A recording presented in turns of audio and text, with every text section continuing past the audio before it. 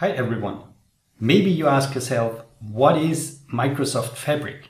And why is there a need for another data product?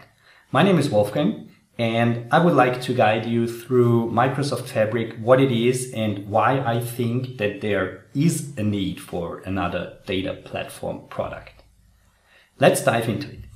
Maybe you are here because you've watched the uh, Build keynote, the Build 2023 uh, keynote by Amir, by Arun, Patrick, and Justyna. Or maybe you've heard about the new thing that is introduced and was introduced at that keynote.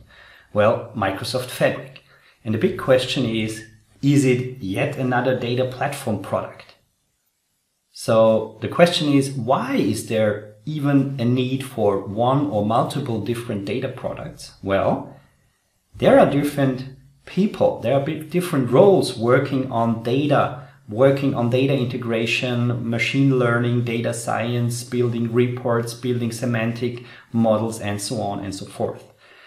And there are more than much and too much tools that work with data that build and are there to build data solutions.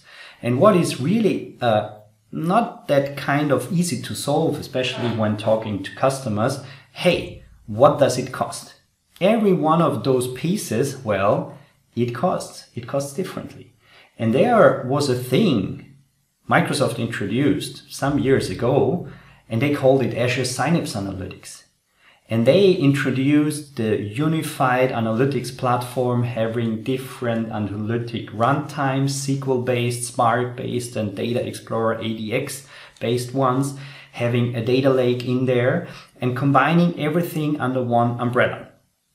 I really like that idea, and we've built many projects based on Azure Synapse, but the problem was there were different tools involved.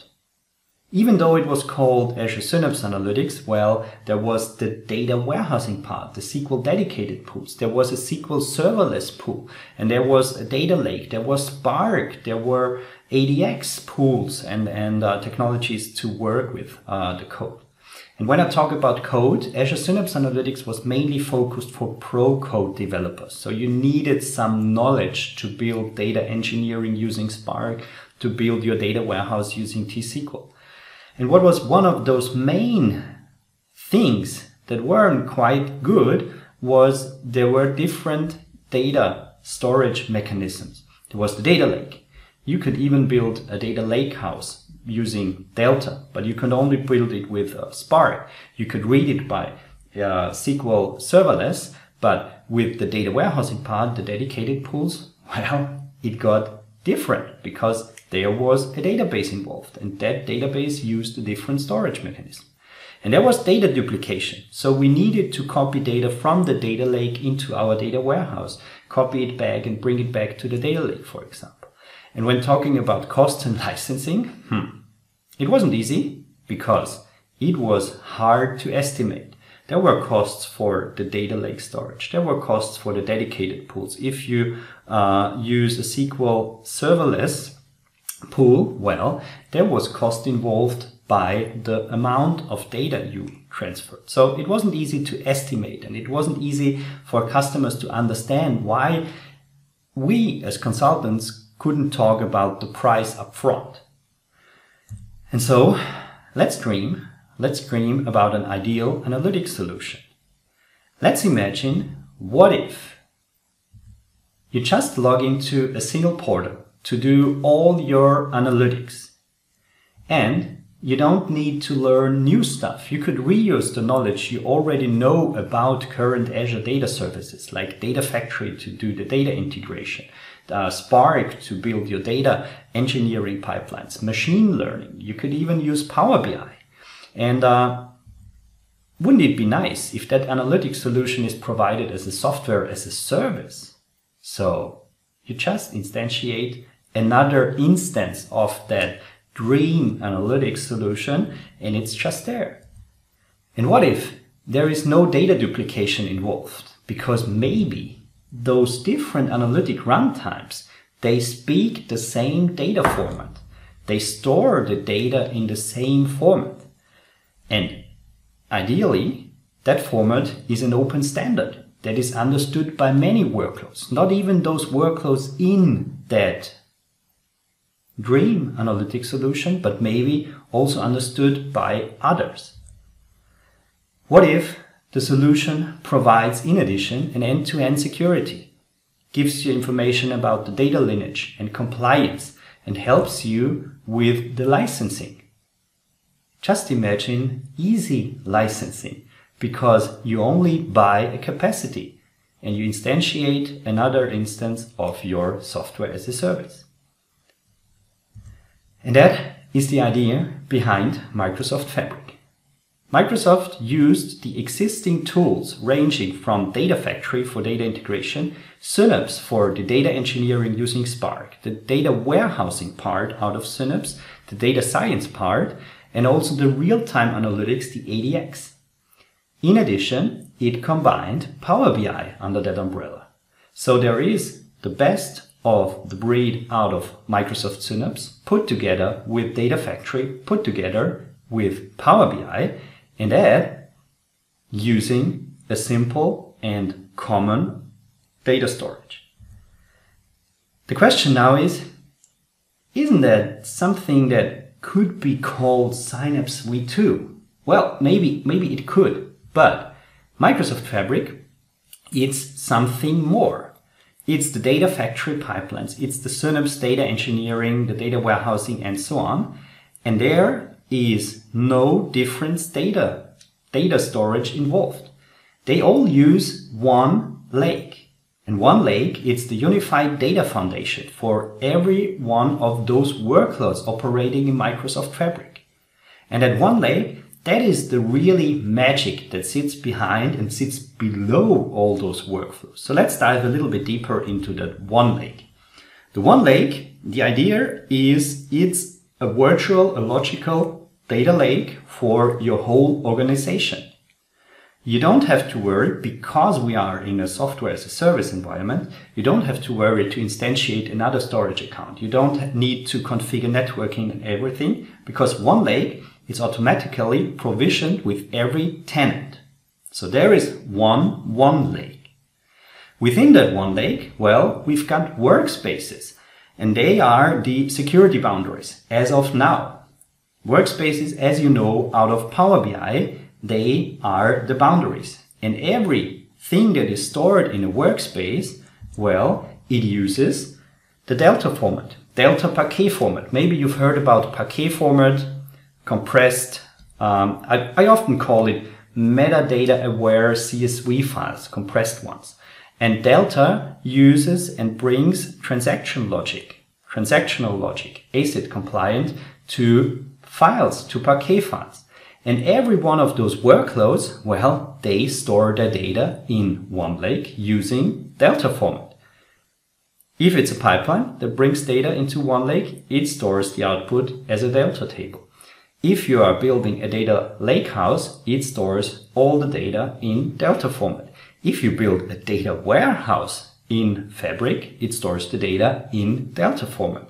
If you build Power BI models in Microsoft Fabric, it uses Delta format as the data storage. And even with that, no data duplication because everyone and every workload understands, writes, and reads those data delta formats. We can even enhance that and we can bring shortcuts to internal artifacts. So we can provide, as you maybe know those symlinks in your file storage, you can create a short uh, shortcut to other parts in your uh, OneLake. For example, from the service telemetry, a shortcut to customer data, which relies and is stored in another workspace. And even further, you can create shortcuts to external artifacts. You don't need a data pipeline. You can create shortcuts to existing Azure Data Lake storages or to external artifacts like Amazon storages.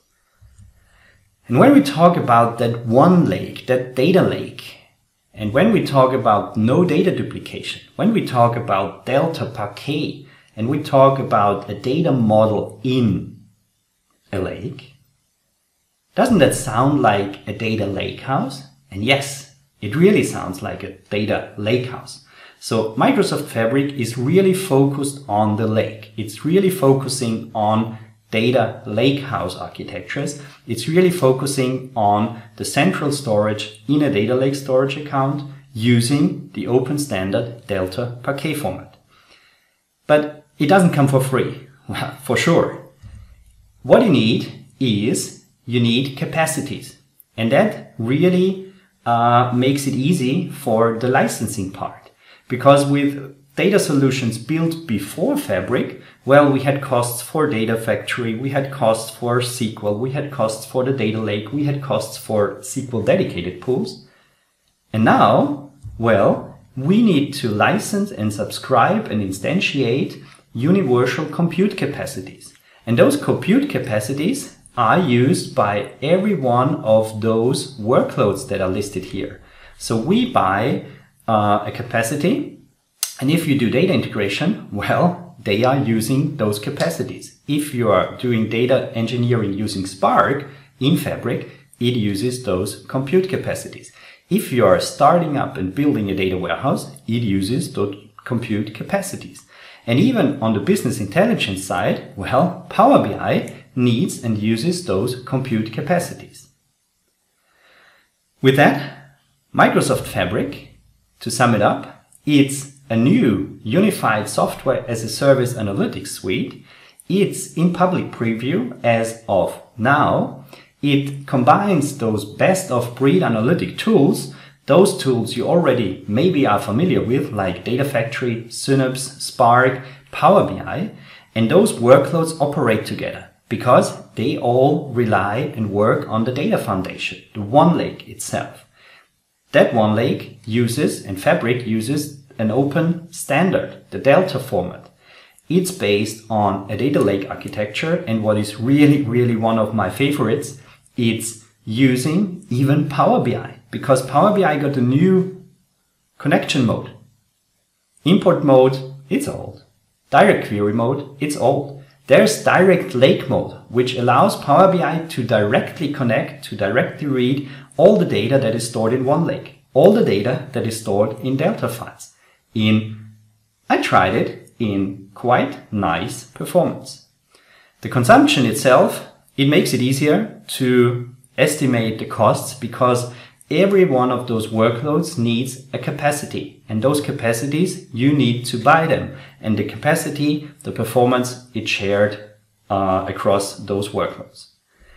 I hope i was able to talk and tell you a little bit about microsoft fabric. I really plan to record some more uh, videos about Microsoft Fabric, about all those different workloads, about the OneLake, about the Parquet format, and so on and so forth. But with that, I hope you enjoyed. You can try it as of now. It's in public preview. See you next time.